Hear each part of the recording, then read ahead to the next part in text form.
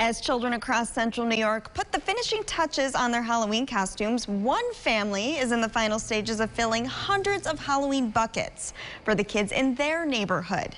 News Channel 9's Madison Moore spoke with the woman who started the initiative, and she says it's a reason that goes beyond Halloween fun.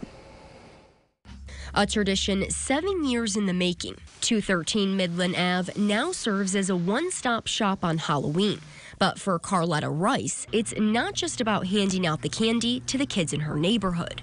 I just want them to be safe, come out, enjoy themselves. Once they get these baskets, it should be more than enough. Just go home, be safe. Don't go around to people's houses because it's not safe out here no more. Youth violence is on many of her neighbors' minds as it's touched even some of the streets in her own backyard.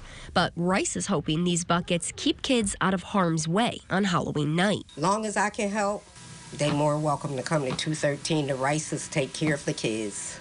And the kids start lining up as early as 1 p.m. on Halloween. And this year, the Rice family plans to hand out more than 700 of these buckets filled with all sorts of goodies after losing my son, I feel I need to do something, you know, for the community.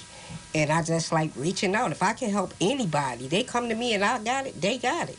And I try to do the best I can for my community. Spreading a message to her neighbors, not just on Halloween, but year round. In Syracuse, Madison Moore, News Channel 9.